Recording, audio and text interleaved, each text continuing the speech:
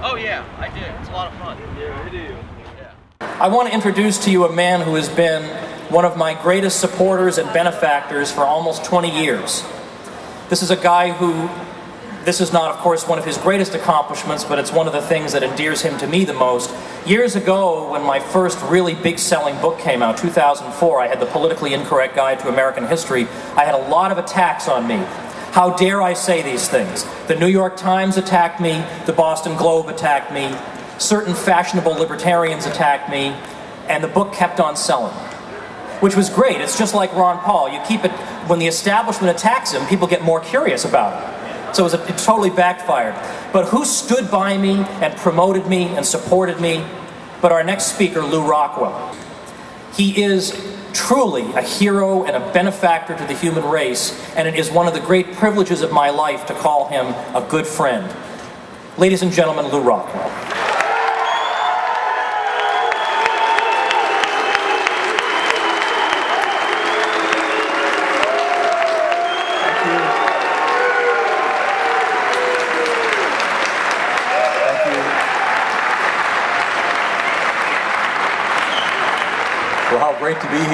Thank Deborah Robinette, and I know all the many, many people who put so much time into putting this program together. It's, uh, it's, it's an honor to be here and to be with you. I want to talk about Ron Paul in the future. One of the most thrilling memories of the 2012 campaign was the sight of all those huge crowds who came out to see Ron.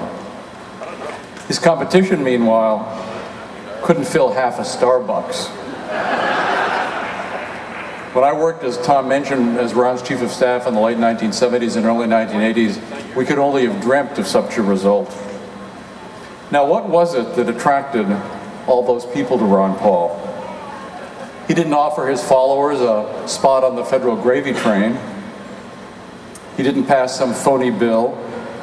In fact, he didn't do any of the things we associate with politicians. What his supporters loved most about him has nothing to do with politics. Ron Paul is the anti-politician. He tells unfashionable truths. He educates rather than flatters the public. And he stands up for principle even when the whole world is arrayed against him.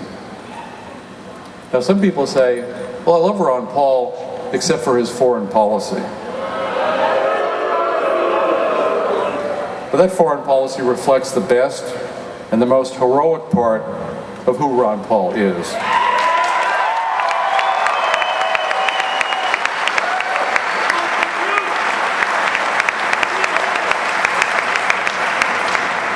Peace is the linchpin of the Ron Paul program, not an extraneous or dispensable adjunct to it. He would never and could never abandon it. Here was the issue, however, that Ron could have avoided had he, been, had he cared only for personal advancement. But he refused. No matter how many times he's been urged to keep his mouth shut about war and empire, these have remained the centerpieces of his speeches and his interviews. Of course, Ron Paul deserves the Nobel Peace Prize.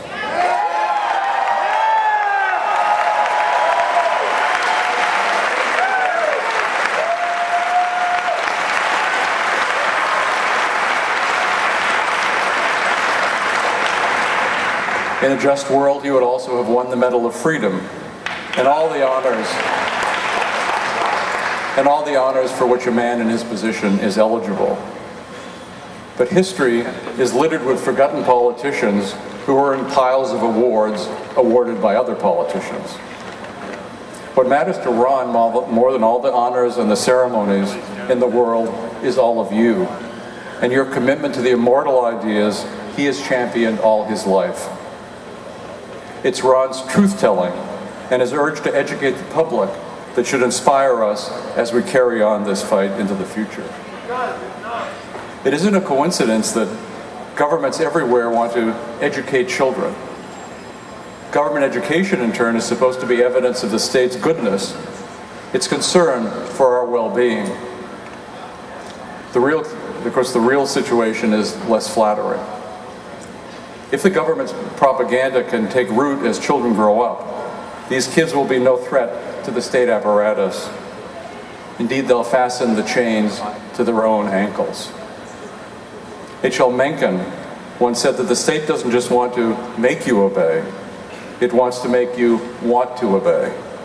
And that's one thing the government schools do so well. A long-forgotten political thinker, Etienne de wondered why people would ever tolerate an oppressive regime. After all, the people who were governed vastly outnumber the small minority of governors. So the people governed could have put a stop to it all if only they had the will to do so, and yet they rarely do. De concluded that the only way any regime could survive was if the public consented to it. That consent could range all the way from enthusiastic support to stoic resignation. But if that consent were ever to be, were ever to vanish, a regime's days would be numbered. And that's why education, real education, is such a threat to any regime. If the state loses its grip over your mind, it loses the key to its very survival. The state is beginning to lose that grip.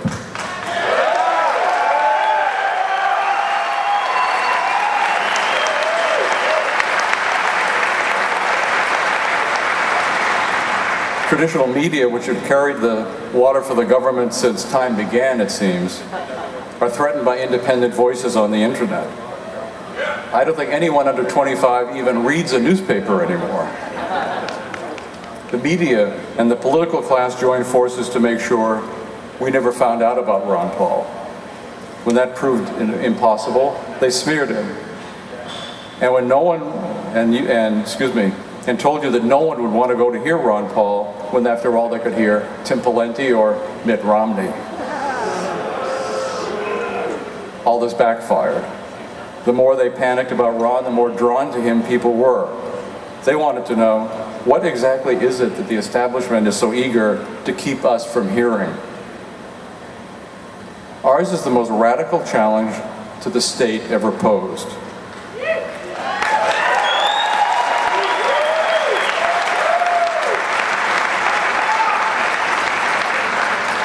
We aren't trying to make the state more efficient or show it how it can bring in more revenue or change the pattern of its wealth redistribution. We're not saying that this subsidy is better than that subsidy or that this kind of tax would make the system run more smoothly than that one. We reject the existing system root and branch. And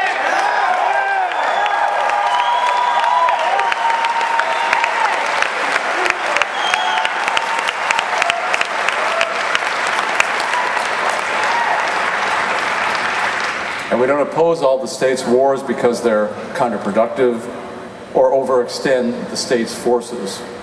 We oppose them because mass murder based on lies can never be morally acceptable.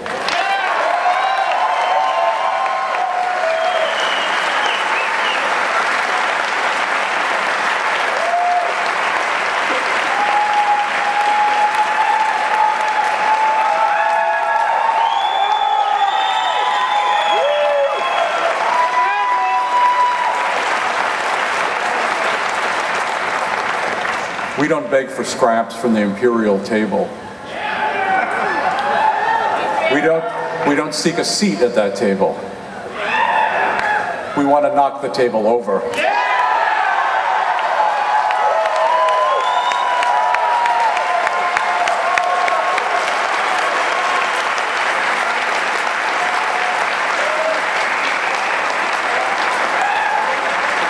We have much work to do countless Americans are persuaded that it's in their interest to be looted and ordered around by a ruling elite that in fact cares nothing for their welfare and only to increase its power and wealth at their expense. The most lethal and antisocial institution in history has gotten away with describing itself as the very source of civilization. From the moment they set foot in the government schools, Americans learned that the state is there to rescue them from poverty, unsafe medicine, and rainy days, to provide economic stimulus when the economy is poor, and to keep them secure from shadowy figures everywhere. This view is reinforced, of course, by the broadcast and print media. If the public has been bamboozled, as Murray Rothbard said. It's up to us to do the de-bamboozling.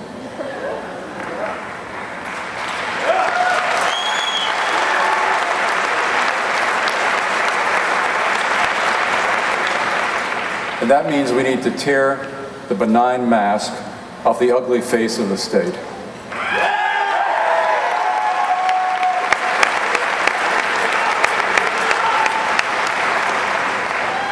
That is the task before you, before all of us here today. Begin with yourself. Learn everything you can about a free society. Read the greats, Frederick Bastiat, Ludwig von Mises, Murray Rothbard.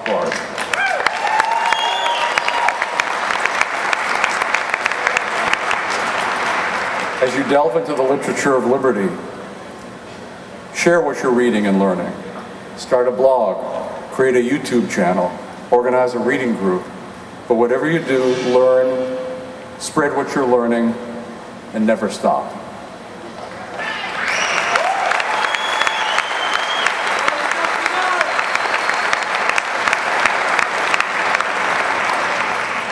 If it is through propaganda that people thoughtlessly accept the claims of the state, then it is through education that people must be brought to their senses.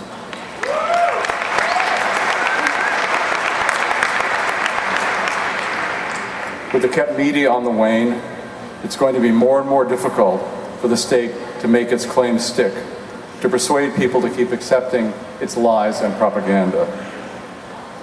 You've heard it said that the pen is mightier than the sword. Think of the sword as the state. Think of the pen as all of you, each in your own way, spreading the ideas of liberty.